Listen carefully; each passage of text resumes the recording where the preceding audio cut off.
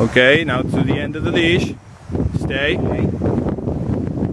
Let's walk a circle. If she does move, I want you to anticipate and correct her. Same way we've been doing it with the heeling and everything. Stay. No. There, perfect.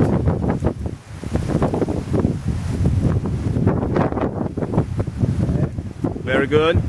She will make mistakes, and that's what I want. I want the mistake to come out in order to correct, because that's the way they learn. Now praise. Come very near her when you want to praise it. There we go. That was good though. It's the very, it's the, yeah, very first time.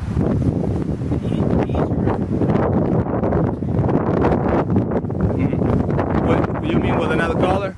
Yeah, the collar was rotating. It, wa- was rotating, yeah, but you can just, you know, work with it. Of course, we hook it up in there because it doesn't fit in the other. Let's do it, see if we can do it. Do another? I want to make sure that she, he, first of all, before you start moving, I want her to get this, okay? To get that, because dogs learn by picture. That's the first picture he sees. She sees that. That means stay. Now do semicircles. Stop there, go to the other end. There you go.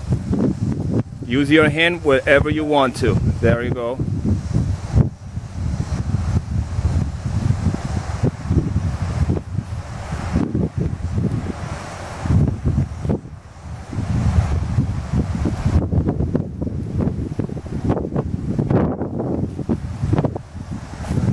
Very nice, very nice. Very nice.